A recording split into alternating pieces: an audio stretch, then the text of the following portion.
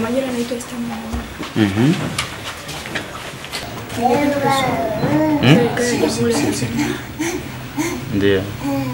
kwa kunitafuta shule Ndio. ila ningependa walimu wabadilike. Ndio. Unyanyasaji kwa wanafunzi sio mzuri. Ndio. Narudi nitasoma kwa bidii, nitatimiza ndoto zangu. Safi kabisa.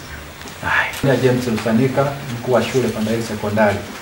Nasi tumepokea taarifa hizi kwa kwa moyo mkunjufu kabisa, tumefurahi kwa sababu taswira iliyokuwepo imejengwa katika jamii ilikuwa kwamba labda tulifanya kitu fulani sisi kwa mtoto, lakini tumeona hai kwetu imekuwa ni furaha kubwa sana. Kwa hiyo tunashukuru jeshi la polisi, uongozi mzima wa mkoa na wote walioshiriki katika kumtafuta huyu kijana na kupatikana akiwa salama salimini.